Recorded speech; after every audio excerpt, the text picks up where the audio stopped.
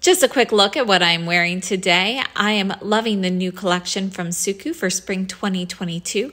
Today I have on the sheer matte lipstick in shade 11, which is permanent, and it pairs beautifully with the Givenchy lip liner in number 8, Parme Silhouette.